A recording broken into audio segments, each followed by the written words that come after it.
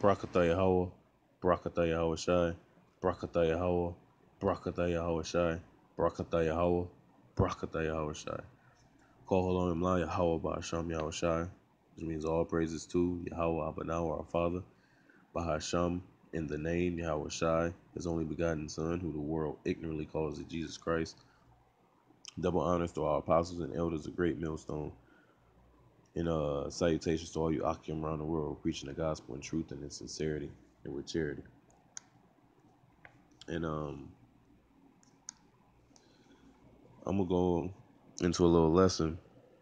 Spirit was giving me while uh, I was watching a brother uh, Rutazawanya uh, video about give not thy strength to women, check their wickedness. You know, and while and while he was um while he was talking, the Spirit was giving me different uh, uh, scriptures and um scenarios, you know, that uh that played out in the scriptures you know, based off the topic of um what he was saying.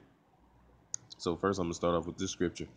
This is Romans 15 and 4. It says, For whatsoever things were written aforetime were written for our learning, that we through patience and comfort of the scriptures might have hope.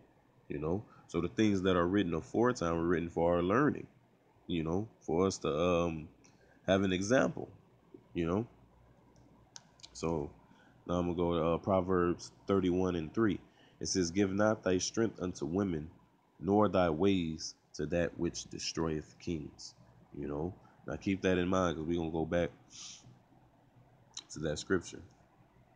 And I'm going to go uh, from there to, um, To go to Judges. Salakin.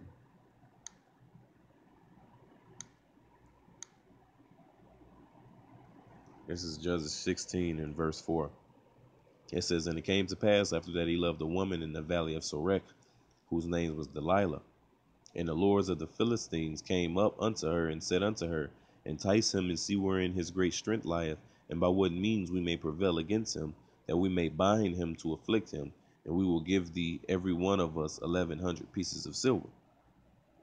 So each one of these dirty ass Hamites, you know, because the Philistines goes back to the um, to Mizraim, Montezarium, which is our, which are the Egyptians. You know, goddamn Hamites, dirty motherfuckers. But um, each one of them was giving her eleven hundred pieces of silver, and it didn't say how many of them dirty, them dirty foot uh, marks it was, you know. But eleven hundred pieces for each one, you know. She sold them out. It says um Oh yeah, because Samson was beating their ass, man. They couldn't fuck with him. Uh, verse six. And Delilah said to Samson, Tell me, I pray thee, wherein thy great strength lieth, and wherewith thou mightest be bound to afflict thee. And Samson said unto her, If they bind me with seven green withs that were never dried, then shall I be weak and be as another man. Then the lords of the Philistines brought up to her seven green withs, which had not been dried, and she bound them with them. Now there were men lying in wait, abiding with her in the chamber, and she said unto him, The Philistines be upon thee, Samson. And he brake the withs as a thread of tow is broken when it toucheth the fire, so his strength was not known. So this bitch sit here and, and set him up, you know. Verse 10 And Delilah said unto Samson, Behold, thou hast mocked me and told me lies. Now tell me, I pray thee, wherewith thou mightest be bound. And he said unto her, If they bind me fast with new ropes that never were occupied, then shall I be weak and be as another man. Delilah therefore took new ropes and bound him therewith, and said unto him, The Philistines be upon thee, Samson. And there were liars in wait abiding in the chamber, and he brake them from off his arms like a thread. and Delilah said unto Samson, Hitherto thou hast mocked me and told me lies. Tell me wherewith thou mightest be bound. And he said, and I'm gonna grab a scripture real fast, because like Apostle Gabar always say, use your strapulation. So each time he getting set up, he tell her what uh what what to weaken him. She goes and does what it says, and each time she tell him that these Hamites is running up on him, and he's constantly steady getting back with her. But because, like like Apostle Gabar says, man, use extrapolation. How is he, you know, uh, uh, after hey, after that load get out, you know, uh, pillow talking, as you would say. This is Micah. Uh, 7 and 5, I believe. Con. It says, Trust ye not in a friend, put ye not confidence in a guide. Keep the doors of thy mouth from her that lieth in thy bosom. And that's the point, man. Because each time you, you uh, using the strapulation, she, he was lying in her bosom, man. Or she was lying in his bosom. This is uh uh verse 13. Salakia, verse 14. Uh 13 again. And Delilah said unto Samson, Hitherto thou hast mocked me and told me lies. Tell me wherewith thou mightest be bound. And he said unto her, If thou weavest the seven locks of my head with the web. And she fastened it with the pin and said unto him, The Philistines be upon thee, Samson. And he awaked out of his sleep and went away with the pin of the beam and with the web. And she said unto him, How canst thou say I love thee when thine heart is not with me? Right? P- playing his ass. And um this is like when I read this, it comes in mind uh the scene from um Harlem Nights with Richard Pryor and Eddie uh Eddie Murphy. you know, it was uh this prostitute on there named um named Sunshine. You know, man, hey, you just brothers got to watch it to get it. Harlem Nights. But um, verse 15, and she said unto him, How canst thou say I love thee when thy heart is not with me? Thou hast mocked me these three times, and hast not told me wherein thy great strength lieth. And it came to pass when she pressed him daily with her words and urged him so that his soul was vexed unto death, that he told her all his heart, and said unto her, There, Slocking. Um, that he told her all his heart and said unto her, There hath not come a razor upon my head, for I have been a Nazarite unto the Most High from my mother's womb. If I be shaven, then my strength will go from me, and I shall become weak and be like any other men. And when Delilah saw that he had told her all his heart, she sent and called for the lords of the Philistines, saying, Come up this once, for he showed me all his heart. Then the lords of the Philistines came up unto her and brought money in their hand, right? Brought this bitch the money that she sold him out for. And she made him sleep upon her knees, and she called for a man, and she caused him to shave off the seven locks, which locks wasn't dreadlocks, contrary to popular belief. It's the Hebrew word uh, machlapa, machlapa, and it says braid, lock, or plait. You know, a ringlet of hair gliding over each other. It was braids. It says, for a man, and she caused him to shave off the seven locks of his head, and she began to afflict him, and his strength went from him. And she said, The Philistines be upon thee, Samson. And he awoke out of his sleep and said, I will go as at other times before and shake myself. And he wist not that the Lord was departed from him. But the Philistines took him and put out his eyes and brought him down to Gaza and bound him with fetters of brass. And he did grind in the prison house. But the point is, is he got his, he got how he got himself in that situation. This is uh Wisdom of Solomon. Slakia, not Wisdom of Solomon. This is Judith, the 12th chapter. And um, I'm to start up at the 16th verse. It says, Now when Judith came in and sat down, because uh, you got uh, to read the whole story, you know, Judith went um, pretty much to uh, uh, to deliver the children of Israel out of this dude's hand, you know, from the council of Yahweh Shem Yahushua that got her. This is verse 16. It says, Now when Judith came in and sat down, I believe this is the third or the fourth dinner, I believe, that he had with her. This is uh, now when Judith came in and sat down, Holofernes' heart was ravished with her, and his mind was moved, and he desired greatly her company for he waited a time to deceive her from the day that he had seen her, right? Because he was hot on her from, from, from the stop, from the start. Then said Holofernes unto her, Drink now and be merry with us. So Judah said, I will drink now, my Lord, because my life is magnified in me this day more than all the days since I was born. Because uh, I believe the other two or three dinners before, she didn't drink or eat with him, you know. She went back to her tent and ate. This is uh, verse 19. Then she took and ate and drank before him what her maid had prepared. And Holofernes took great delight in her and drank more wine than he had drunk at any time in one day since he was born. Just because he wooed off her, right? Um, now I'm going to jump over to verse 13. It says, uh, uh, in Judith, verse two, and Judith, and Judith was left al- uh, alone in the tent, and Holofernes lying along upon his bed, for he was filled with wine.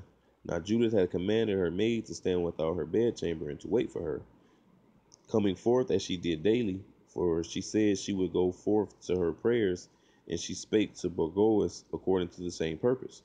So all went forth, and none was left in the bedchamber, neither little nor great. Then Judah, standing by his bed, said in her heart, O Lord, power of all power, look at this present upon the works of my hands for the exaltation of Jerusalem. For now is the time to help thine inheritance and to execute thy enterprises to the destruction of the enemies which are risen against us. Then she came to the pillar of the bed, which was at Holofernes' head, and took down his falchion from thence, which the falchion is a um is a weapon. So I thought it was gonna look at. It's like I thought I was gonna look it up in Google. But uh, it says took down his falchion from thence. Let me see.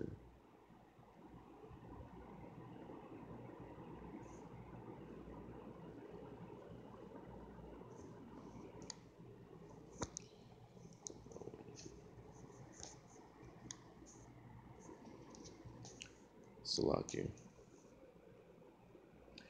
Uh, it- I believe it looked like a battle axe, if I'm not mistaken. But uh, verse seven, and it approached to his bed and took hold of the hair of his head, and said, "Strengthen me, O Lord, power of Israel, this day." And she smote twice upon his neck with all her might, and she took away his head from him, and tumbled his body down from the bed, and pulled down the canopy from the pillars. And anon after she went forth and gave Holofernes his head to her maid, and she put it in her bag of meat. So they twain went together according to their custom unto prayer. And when they passed the camp, they compassed the valley and went up to the mountain of Bethulia and came to the gates thereof. You know, so he was two examples of this scripture right here. Sirach 9 and verse 5. It says, Gaze not on a maid that thou fall not by those things that are precious in her. and Holofernes fell, you know, and, and Samson fell, right? Jump down to verse 8. Turn away thy eye from a beautiful woman and look not upon another's beauty when it says another beauty is uh, another man's woman, right? But the point is to turn thy way, uh, turn thy eye from a beautiful woman. It says, For many have been deceived by the beauty of a woman, for herewith love is kindled as a fire. You know, many have been deceived. This is uh first Esdras the fourth chapter. I believe it's 26th verse. It says, Yea, many there be that have run out of their wits for women and become servants for their sakes. Many also have perished, have erred and sinned for women, right? Holofernes perished. You know, Samson ultimately perished. It says, And now do ye not believe me? Is not the king great in his power? Do not all regions fear to touch him, right? All regions, all his realm, which this was the uh, king of Persia during this time, you know, had a vast kingdom. So none of the, all the regions fear to touch him, right? Yet did I see him and Apame, the king's concubine, the daughter of the admiral Bartacus, sitting at the right hand of the king, and taking the crown from the king's head, and setting it upon her own head. She also struck the king with her left hand. And yet for all this the king gaped and gazed upon her with open mouth. If she laughed upon him, he laughed also. But if she took any displeasure at him, the king was fain to flatter, that she might be reconciled to him again. and as the brother said in this video, man, the Jeremiah 44 spirit, man. You can't have that. Verse 32, you know, because this whole vibration is bitch made, man. As it is written, it says women uh, uh, rule over you, you know. Esau turned this shit upside down. But now, you know, we slowly but surely through the spirit and power of Sham Shai is turning this turning this thing right side up, man. Verse 32, O ye men, how can it be but women should be strong, seeing they do thus? Right? Then the king and the princes looked one upon another. So he began to speak of the truth. Right? O ye men, are not women strong? Great is the earth, high as the heaven, swift is the sun in his course, for he for he compasseth the heavens round about, and and fetcheth his course again to his own place in one day. Is he not great that maketh these things? Therefore, great is the truth and stronger than all things, man. You know, and that's the point. Great is the truth and stronger than all things. You know, even stronger than women, man. The truth, you know. As it is written, I am the I, I am the way, the truth, and the life, man. No man goeth to the Father except by me. I believe it's uh, uh, Saint John, uh, the seventh chapter, the fourth chapter, if I'm not mistaken. But it's in the book of John, you know. Yahweh Shai is the truth, man. You know, he is our wisdom. It says, uh, verse um 36 all the earth crieth upon the truth and the heaven blesseth it all work shake and tremble at it and with it is no unrighteous thing man and with this truth is no unrighteous thing like it is written in wisdom of solomon the seventh chapter This is Wisdom of Solomon 7 and 24. For wisdom, this truth, is more moving than any motion. She passeth and goeth through all things by reason of her pureness. For she is the breath of the power of the Most High, and a pure influence flowing from the glory of the Almighty, which goes back to uh, uh Ezekiel the 37th chapter. You know, that breath that was breathed into him, this wisdom, this knowledge, this understanding, you know same breath that was breathed into Adam in, in Genesis second chapter. For she is the breath of the power of the Most High, and a pure influence flowing from the glory of the Almighty. Therefore can no defiled thing fall into her. Can no defiled thing fall into her, man. Which goes back to the uh uh, uh the first address. No unrighteous thing can uh fall into it. I'm gonna read that last part again. It says, uh, and there is no truth in them, in their unrighteous, uh, Slakia. No, it's, um,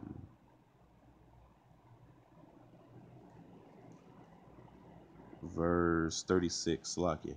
It says, All the earth crieth upon the truth, and the heaven blesseth it. All work shake and tremble at it, and with it is no unrighteous thing. Wine is wicked, the king is wicked, women are wicked, all the children of men are wicked, and such are all their wicked works, and there is no truth in them.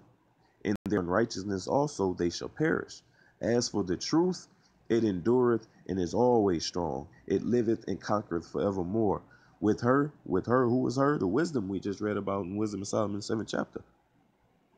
There is no accepting of persons or rewards, but she doeth the things that are just and refraineth from all unjust and wicked things, and all men do well like of her works. Neither in her judgment is any unrighteousness, and she is the strength, kingdom, power, and majesty of all ages, man. Right? Give not thy way to that which destroyeth kings, right? Blessed be the power of truth. And with that he held his peace, and all the people then shouted and said, Great is truth, and mighty above all things you know? And a part of this truth is what is written. Genesis 3 and 16 Unto the woman he said, I will greatly multiply thy sorrow and thy conception. In sorrow thou shalt bring forth children, and thy desire shall be to thy husband, and he shall rule over thee. That's how Yahweh Sham Yahweh ordained it. That is truth, man. So as men of Yahweh Sham Yahweh as men, period, we must rule over these women, man. You know? This is uh First Corinthians verse 11. It's like it. First Corinthians chapter 11. I'm going to start at the top. Be followers of me, even as I also am of Yahweh. Now I praise you, brethren, that you remember me in all things and keep the ordinances as I delivered them to you. But I would have you know that the head of every man is Yahweh and the head of the woman is the man. And that's the point. And the head of Yahweh is the Heavenly Father, you know? But the point is, the head of the woman is the man, man. And if you women claim to believe in this truth, then uh, uh, hey, these scriptures speak for themselves. This is uh, Ephesians, the fifth chapter, the 22nd verse. Wives, submit yourselves unto your own husbands as unto the Lord, man. As unto Yahweh as unto this truth, as the truth uh, uh, tells you to, man. For the husband is the head of the wife, even as Yahweh Shai is the head of the church, and he is the savior of the body. Therefore, as the church is subject unto Yahweh Shai, so let the wives be to their own husbands in everything, man. In everything. You know. So it's time for man, hey, enabling, hey, like the brother said, man. You know, enabling uh, uh, uh, uh the wickedness of these women, man, is no more, man. That Queen of Heaven spirit is dead, man. That shit played out, man. As the brother Jeremiah in, in, in, in, our camp would say, man. Being a nigga, man, is played out. And a nigga it, it, it set a woman over anything else, man. The only woman that's set up uh, over us is this wisdom, knowledge, and understanding, man. You know, it's these scriptures. Is Yahweh Basham Yahweh Shah, man. You know. So with that, man, I, I hope you brothers are edified. You know, matter of fact, I said I'd go back uh, to the Proverbs. I'm going to end it out with the Proverbs. Proverbs 31 and 4. And it says, um, uh, Proverbs 31 and 3, Slaki, Give not thy strength unto women, nor thy ways to that which destroyeth kings, man. You know? And that's one of the ways which destroyeth kings, man is giving the strength over unto a woman. So with that, uh, uh, with that, uh, all praises, honor, glory to Yahweh, Sham Yahweh double honor to the apostles and elders, a great millstone, and salutations to all you Akim around the world, preaching the gospel in truth and in sincerity, and with all charity. You know, Lord willing, you brothers edify. Shalom.